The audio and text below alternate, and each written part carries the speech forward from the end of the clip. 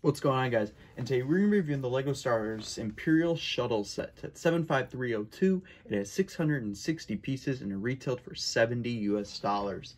This set is incredible. The minifigure selection is kind of weak, but other than that, the set is just fantastic. And this is my first Imperial Shuttle.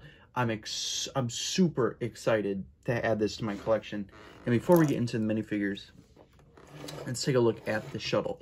So the wings do fold downward all the way to where they look like that. But other than that, they just fall over. So you got to put them back upwards. And this comes off pretty easily. So you definitely got to uh, be careful with that. Like there. And yeah, there are two guns on the sides right there. This part opens up like this. I don't know how I feel about that, but it's fine. You put two minifigure, or a, a minifigure right there. There is no hatch to get inside the ship, which that's a big bummer. Um, but there are two stud shooters on the sides. And yeah, I mean, that's really it for the set. I mean, there's an engine in the back. That's what it looks like from the back. It's got two Technic pieces to hold it as a stand. And yeah, that's really it for the Imperial Shuttle. Really detailed. The play features are lacking.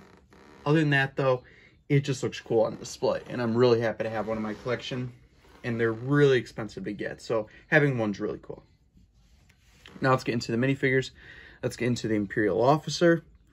He is just a standard Imperial officer. He comes with a pistol, standard Imperial officer hat, no new face prints with the microphone and the uh, uh, Angry Empire, or like the Sears Empire look.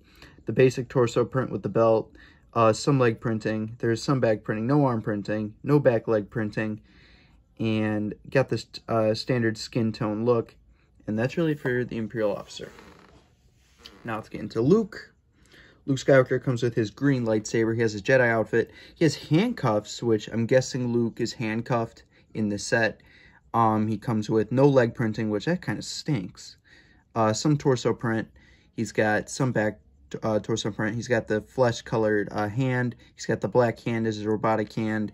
He's got a uh, like a lightish tan um, hairpiece with like a little bit of brown, so it's really nice. He comes with two face prints, that face and a serious face, or it's just smiling. That's really cool. Now, the, honestly, they did a really good job updating him, Darth Vader. Darth Vader is really cool. He sadly does not have arm printing, which oh, I don't know why they took that out in this set, which that sucks. But he comes with his uh, new face print, which I really like that face print. He comes with his red lightsaber. He has really nice leg printing. He's got really nice torso printing. he does have a little bit of back printing, which you don't really see that with the guys with the capes. They normally just leave that out. And yeah, and it. He comes with his new helmet, and that's really it. All right, if if you guys are asking if I recommend this set, 100%. This set will look epic on display. I really like how it looks. And this set just looks awesome. And it's fairly sized too. I mean, that compared to my hand, that's a pretty decent set. All right. Thank you guys so much for watching this video. I hope you guys enjoyed. Just click button down below. And subscribe, subscribe. I'll see you guys next video. See you guys.